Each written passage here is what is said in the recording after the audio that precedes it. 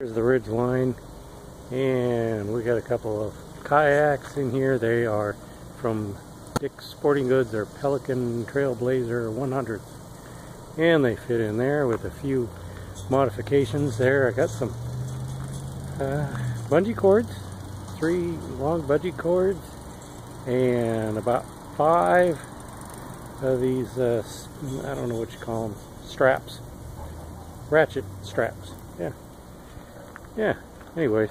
And then I have a couple other little uh, bungee cords that are on top of the flip back uh, cover that covers the bed. Uh, because otherwise when I get to freeway speed it starts to blow backwards. They flip back this way. Well, see you later. Bye.